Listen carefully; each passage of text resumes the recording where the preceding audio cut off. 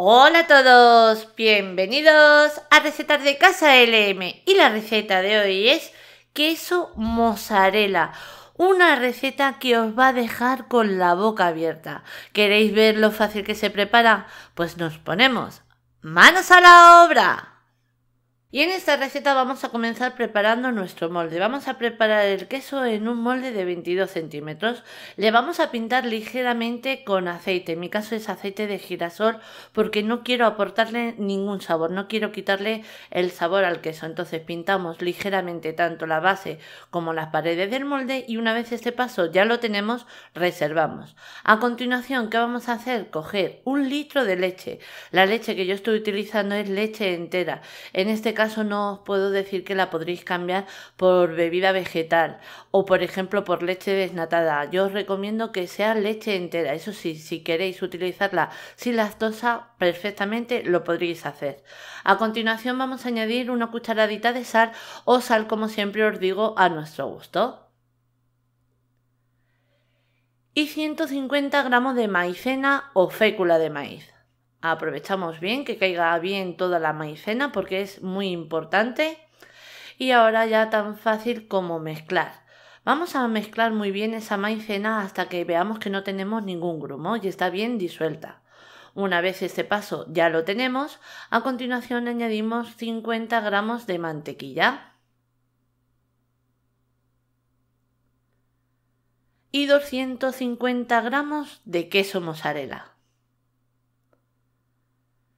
Ahora ya tan fácil como llevarla al fuego y no parar de remover hasta que comience a hervir y luego se forme una crema. Vais a ver a continuación. Eh, pero esto no va a ser muy despacio, va a ser rápido. Por eso vamos a estar pendientes de ello y no, para, no paramos de remover para no correr el riesgo de que se nos pueda pegar. Entonces, una vez ya lo tenemos bien disuelto y fundido el queso, como estáis viendo en esta imagen, ¿veis?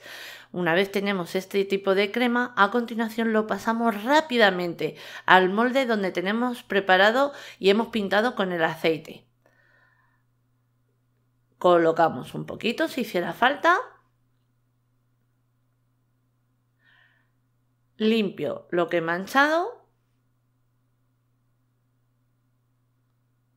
y ahora ya nos lo llevamos a la nevera. Vamos a reservarlo en la nevera hasta que esté totalmente cuajado. Yo, por ejemplo, lo voy a dejar en la nevera durante toda una noche. Transcurrido el tiempo, ya le tenemos cuajado. Nada, le quitamos el fil, ligeramente le pasamos así una paleta por todo alrededor, pero como quien dice con el aceite nos va a ser mucho más fácil el desmoldarle. Entonces, una vez ya lo tenemos, cogemos el plato donde vayamos a emplatar o desmoldar y mirad qué maravilla. Esperar que le voy a quitar un poquito el aire para que caiga. Me ayude un poquito así, a ver si graba, porque es que últimamente me estaba fallando. Le damos un poquito para que salga el aire y aquí lo tenemos. Mirad, mirad qué maravilla. Esto es una receta para dejarte con la boca abierta. Y el bocado es espectacular. Hemos convertido 250 gramos de queso mozzarella en aproximadamente un kilo y medio o algo más. No lo sé, no lo he pesado, pero aproximadamente. Y mirar el corte. Es exactamente lo mismo. Mirad, qué maravilla. A mí, de verdad, me ha sorprendido muchísimo esta receta. Y si yo corto, mirar el corte. ¿Veis? Igual que el queso.